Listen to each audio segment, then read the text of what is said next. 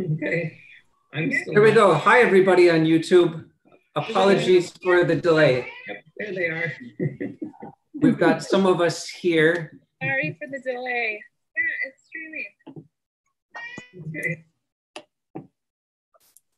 And so I'm going to talk cats away quick.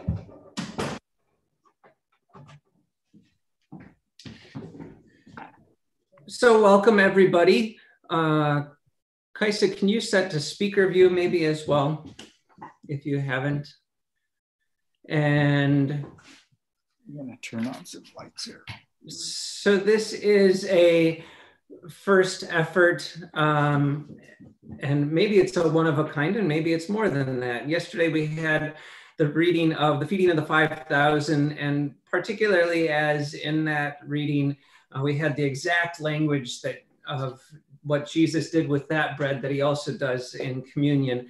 Uh, and having that compound with some questions from some of you about when do we get communion again and being part of larger church conversations about that and also just uh, as we watch the pandemic continue to stretch on and really wanting to find ways for uh, you to be connected to each other and for you to receive uh, goodness from God. This just seemed like a good moment, uh, at least to do this once. And if it seems good, uh, maybe we could get tech to go smoother in the upcoming times and do it as a brief check in uh, in this way or some other just kind of more casual and short way. I thought to do a little bit of opening reflection. The other day as we were talking about it in mutual ministry larry was larry henning was saying that uh, when he would bring communion to shut-ins there was often some sort of uh, word portion. Just like if we were together in worship there would be uh, some bible readings and a sermon before we moved to the meal and so he would often have some conversation and uh, and that was sort of a word portion before he would share communion with people uh, who were shut in. And since we're all somewhat shut in right now, uh, it seemed like a little bit of that reflection and just moment to be together rather than saying some words and having a bite and then shutting off made sense.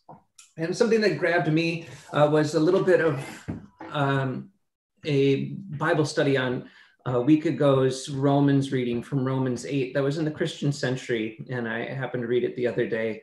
Uh, some of this says, uh, talking about how we use Bible passages, and it says application seems so limited.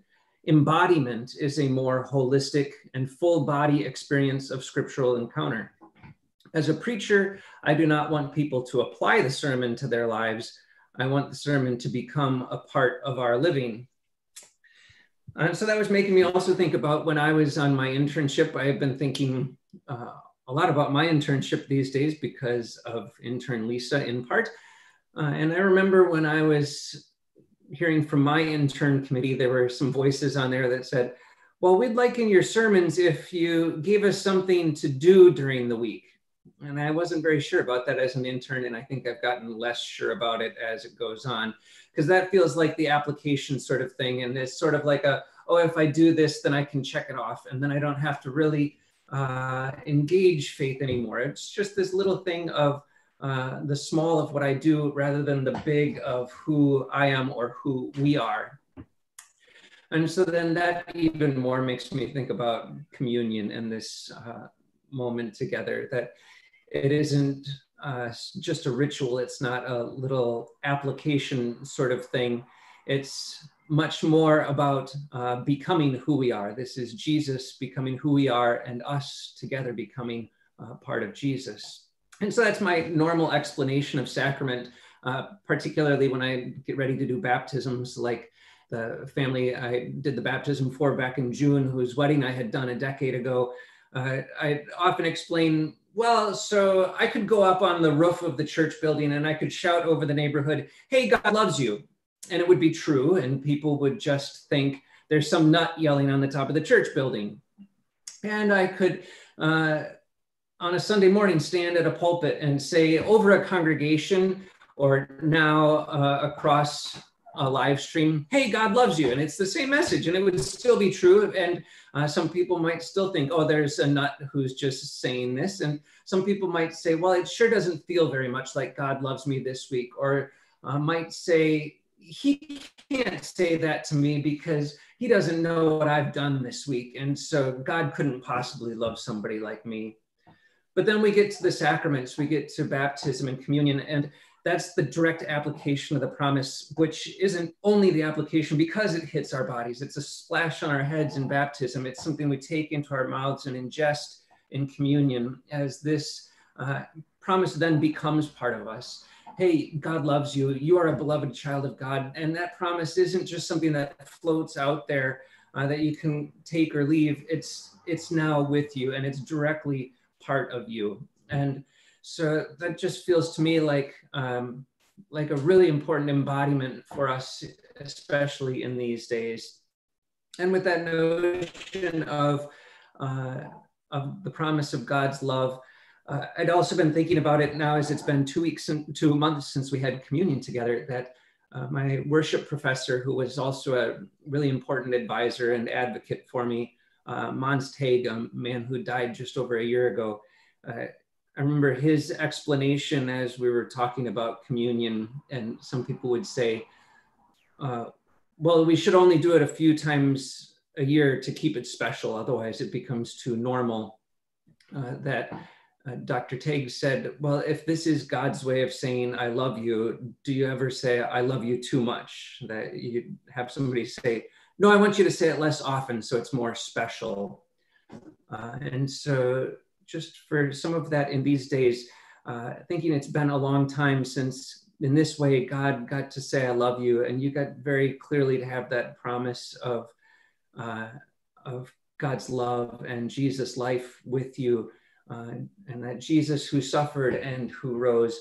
Uh, it, it, seemed like, besides it coming to your ears in a word, that it would be a good moment now to get to ingest it, have it be part of our bodies, and together to be part of the body of Christ.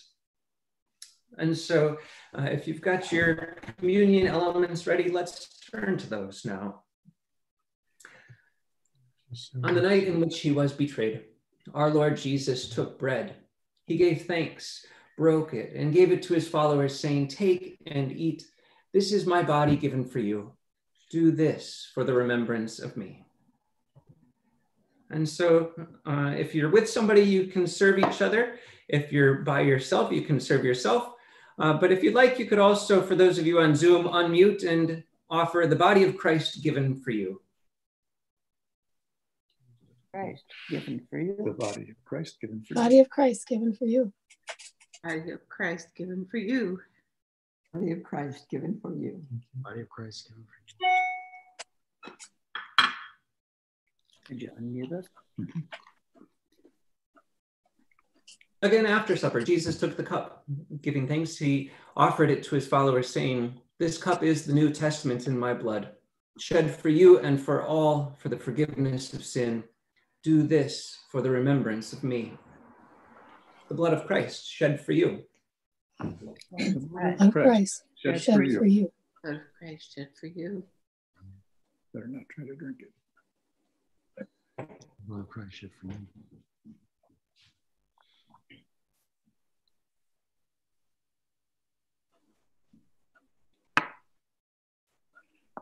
Let's pray.